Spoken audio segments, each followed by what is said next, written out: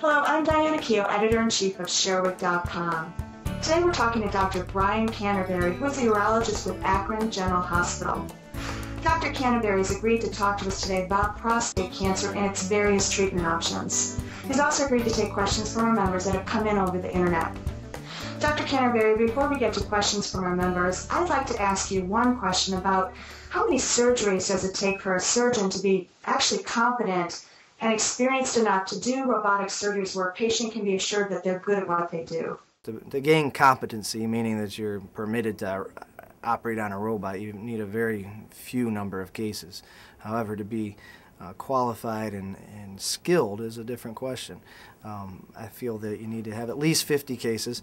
Um, some would say 100 cases before your surgical skills are where they're at. That gives your patients the best opportunity at onco oncologic cure as well as potency and continence after surgery. Dr. Canterbury, is there any benefit to adding hormone therapy to my husband's radiation treatment for prostate cancer? Uh, yes, there is in, in certain patients. Uh, generally speaking, we, we classify patients into three risk groups of prostate cancer, either low risk, intermediate risk, or high risk prostate cancer. And the way we do that is by looking at their PSA score as well as their Gleason score. And if they're in an intermediate or high risk, those patients in particular have shown uh, great benefit in, in adjuvant hormone therapy during and, and after radiation therapy. And so uh, that being said, if you're an intermediate or high risk patient, then I would generally encourage the use of uh, adjuvant hormone therapy uh, before and during your radiation therapy. Dr. Canterbury, before I agree to surgery, uh, how can I be certain that my prostate cancer diagnosis is accurate? That's a tough question. Um, generally speaking, the diagnosis of prostate cancer is made by a pathologist.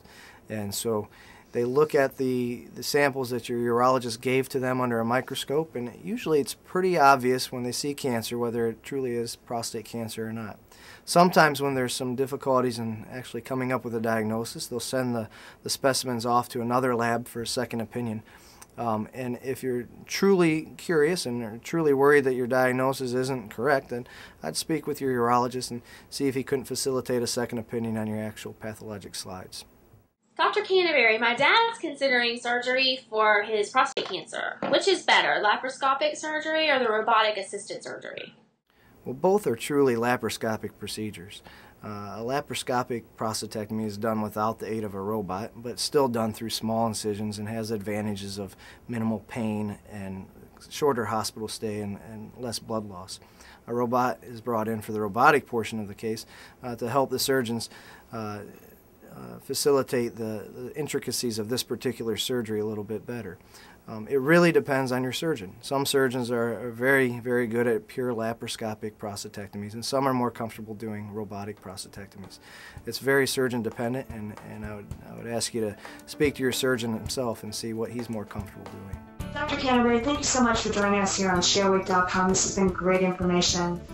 If you'd like more on the topic of prostate cancer and its treatment options, please go to our website at www.sharewik.com.